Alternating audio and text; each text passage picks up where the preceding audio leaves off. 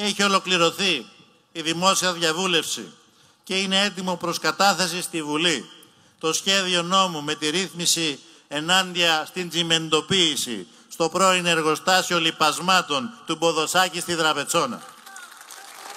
Για να έχουν οι κάτοικοι της περιοχής ανάσα πρασίνου, αναψυχής και άθλησης. Για να ανοίξει το μέτωπο της πόλης προς τη θάλασσα.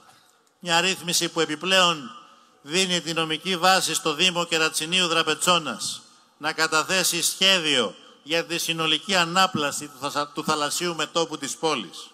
Και είναι μια δέσμευση ότι αυτά θα είναι από τα πρώτα νομοσχέδια της κυβέρνησής μας μετά τις 21 του Σεπτέμβρη, όταν θα συγκροτήσουμε κυβέρνηση μετά την ισχυρή εντολή του ελληνικού λαού.